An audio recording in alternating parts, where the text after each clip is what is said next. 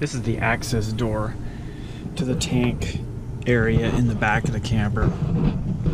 This is the black tank here, and this is the original sensors. The new sensors for the SeeLevel tank monitor system. It's a self-adhesive flexible circuit board that attaches to the side of the tank. There's two wires for each sensor. I've disconnected some of the wires from the original sensors and then hooked them up to the new sensors and the tank forward of the black tank is the gray tank. Can't really see the new tank sensor I installed, but it's kind of back in here, somewhere right in that area.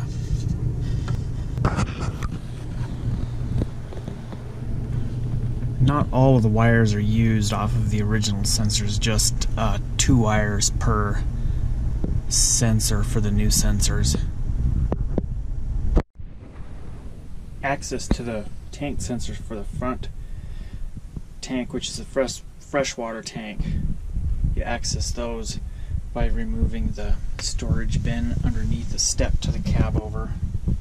And the sensors are right down there. You can kind of see where I've stuck the circuit board on the side of the tank.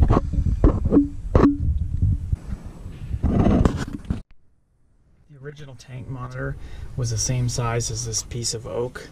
I made this little piece of oak trim to cover up the hole left by the original tank monitor. So this monitor also has a water pump switch. That little green light lights up when our water pump's on. It will read our battery voltage. I'm at 13.1 volts. Freshwater tank is at 90%. Gray water is at 25%. Black water I'm at 20%.